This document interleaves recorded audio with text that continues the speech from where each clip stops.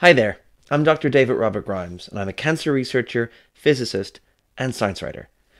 Today I'd like to talk a little bit about vaccination and conspiracy theory, and the combined effect of this on public understanding of science and health.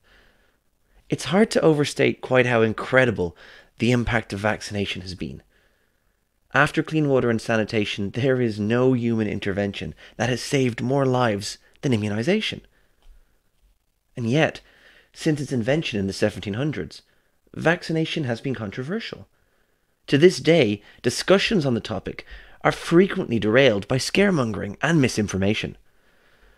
Poisonous fictions about vaccination have led to a resurgence of once almost extinct diseases.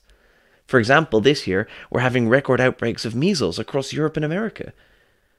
Vaccine misinformation has even impacted the uptake of a HPV vaccine, a vaccine capable of preventing a whole host of cancers.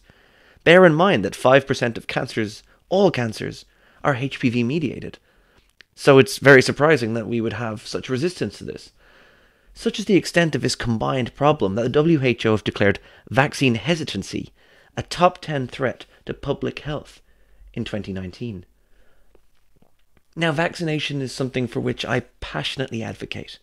In both my research and outreach work, it's something I've covered for a number of years. I also have a keen academic interest in conspiracy theories, and this is something that pops up constantly in vaccine discussions, and I'd like to quickly explain why that is the case. So, firstly, the term vaccine hesitancy encompasses a few different concepts. It might include those who are not viscerally opposed to vaccination, but maybe have heard some frightening things about it and are apprehensive. This is completely understandable. I can see why parents, especially, might be nervous after reading some of the terrifying claims propagated around social media.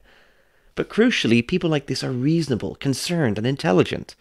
They are open to discussion, and usually, once their fears have been addressed by a physician or a scientist, they're alleviated and they tend to see how vital vaccination is and tend to avail of it for themselves and their children. This kind of hesitancy is reversible, and it's normal.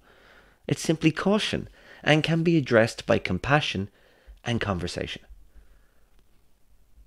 But there is another, more malicious subtype. You have to think where precisely do all these frightening claims stem from in the first instance? Now, I'm not going to give any of them the oxygen of publicity because they're all easily debunked, and I would hate to propagate them further. But I will tell you they don't stem from the scientific or medical community for sure, because the benefits and safety of vaccination are incontrovertible there. If we trace the genesis of these claims, they all have a common source the anti vaccine community. This is not a new movement, it's been a problem for centuries. A WHO editorial noted wearily that how one addresses the anti vaccine movement has been a problem since the time of Jenner. The best way in the long term is to refute wrong allegations at the earliest opportunity by providing scientifically valid data. This is easier said than done because the adversary in this game plays by rules that are not generally those of science. This is a pertinent observation. There is unfortunately ample evidence that anti vaccine activists have long dominated social media in particular. If they propagate falsehoods at such a dizzying extent that scientists cannot keep up with them, it's not surprising that people get confused. Anti vaccine activists tend to not be particularly concerned with reality or veracity. They show no qualms about outright lying in many cases.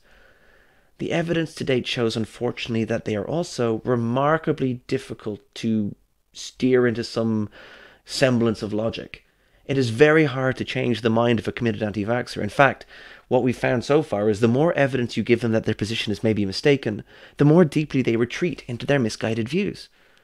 This seems kind of perverse when you consider how life saving vaccination is. So, why would they ever do that, and why so aggressively? I'm going to try and answer that question and shed a little light on the mindset of militant anti vaxxers. So there's been a considerable amount of research done on the anti vaccine community precisely because it can be so damaging to public health. There's been a number of psychological factors that have been identified that seem to be common to the movement. Uh, there is, for example, a wealth of evidence showing poor reasoning skills are endemic, that anti vaccine activists have a reliance for anecdote over data, uh, a pretty poor grasp of cause and effect, and an impressive ability to ignore evidence that undermines their assertions. But universally, anti vaccine activists are committed conspiracy theorists. And if you want to understand the anti vaccine movement, then you cannot parse this without appreciating how a conspiratorial worldview is nurtured. So, anti science conspiracy theory is an academic interest of mine, as well as something I've encountered plenty of times on my outreach work, and I've learned a little bit about it over the years. Conspiratorial ideation is the tendency of individuals to filter all events as though they were the machinations of some sinister power elite. We don't hold our beliefs in isolation. They're all part of what philosopher W.V. Quine called the web of belief. In order to embrace the idea that vaccination is bad, you must also accept scientists are lying or doctors are corrupt to justify it. In short, you also have to accept a series of corollary beliefs to explain away any data you don't like.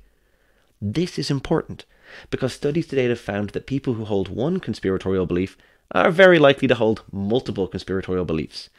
And weirdly, these don't even have to be self consistent.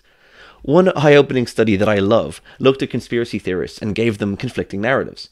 And what it found was that conspiracy theorists were capable of fully embracing both sides at once, provided conspiracy was at play. For example, subjects were able to believe both the idea that Princess Diana faked her own death and Princess Diana was murdered by the Queen simultaneously. Some kind of Schrodinger's princess. But what this and investigations like it tell us is that for conspiracy theorists, consistency of worldview isn't that important. Only thing that really matters is that they have to be aware or believe they are aware of some sinister conspiracy.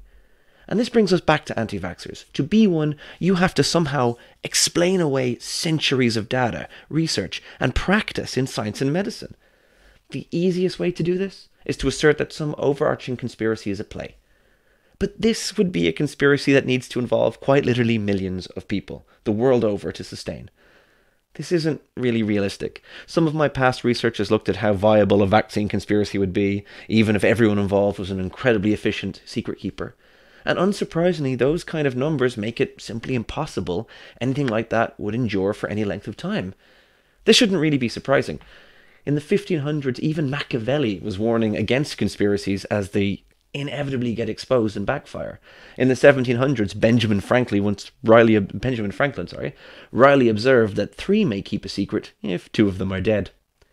More than that, it's profoundly insulting to all of us in science and health, who've dedicated our lives to improving the health of others.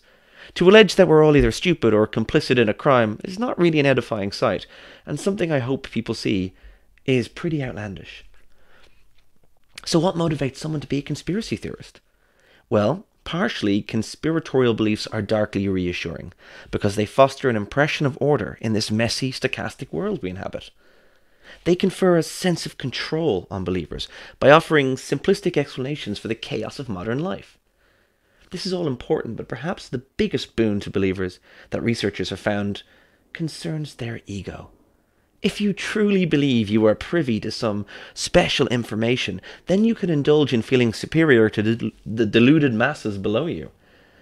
This special knowledge gives believers a sense of purpose and a superiority to the sheeple below you. For the most committed, it makes them feel like prophets and oracles, even if they're pushing fictions. If you're a committed anti vaxxer, it doesn't matter that what the scientists or doctors say, you know more. Sure, your opponent might have a PhD in immunology, but you know more than that brainwashed fool. And all without having to do any work whatsoever, you can paint yourself as more informed than any expert you come across. This can be quite addictive and feeds into people's ego.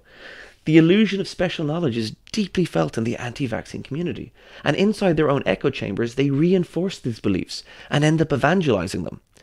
This is perhaps one of the reasons why it's so difficult to dissuade anti vaxxers from their beliefs, because their delusion gives them a sense of identity, purpose, and augments their ego. This is related to what scientist Dan Kahan calls identity protective cognition, the idea that we define ourselves by our beliefs, and to be anti vaccine is part of one's identity, and hard to change without utterly jettisoning one's core belief. So it is very difficult to shift. Viewed dispassionately, of course, this is all kind of pathetic. So can't we just ignore anti vaccine activists then, viewing them maybe with pity? Alas, no. Misguided as they are, they do severe and lasting damage to public health. Conspiracy theory about vaccination is the number one cause of vaccine hesitancy. To justify and sustain their own beliefs, anti vaccine ad- activists need to evangelize their beliefs. And to do so, they target other communities, New parent forums, for example, are constantly bombarded by scaremongering messages from activists. And this, in turn, causes what we earlier on defined as reversible vaccine hesitancy. It makes parents apprehensive. It creates a perception there's something remiss with vaccination. And ultimately, this drives immunization rates down and costs lives. How we combat the anti vaccine movement is a really difficult question, but it is something we have to address. Most anti vaccine content is pushed on social media, and there should be an onus on these companies to combat it although I'm not going to hold my breath that they would. Most importantly, we need to teach people how to tell a dubious source from a, a, reliable one. Now, this isn't easy. A study in Stanford a few years ago found that even intelligent, web savvy students were frequently caught out by fake websites and deliberate misinformation.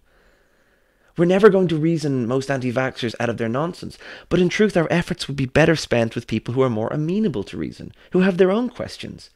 What we have found is that conversations with experts and physicians do change minds, and especially personal stories change minds. Certainly, scientists and physicians will have to enmesh themselves deeper in public communications more often, because this does have a positive impact. We stand on the cusp of an era where we can banish diseases and cancers which have plagued humankind for millennia to the dustbin of history. And yet, as we've seen this year, it's far too easy for misinformation to let us backslide. And the cost of this is needless loss of life. Behind every disease statistic is a tragedy. Um, a loved one lost, a family torn asunder. We cannot let egotistical, misguided people jeopardize public health anymore. It's completely understandable that people, in general, have concerns and fears over vaccination. And I urge you, if you do, please talk to your healthcare provider or a reputable scientist. But whatever you do, please don't let the arrogance and mendacity of committed anti vaxxers undermine your health or that of your family. We cannot afford to let misinformation win out. Our very well being depends on it. Thank you for watching. I'll put some links to those articles I mentioned in the comments.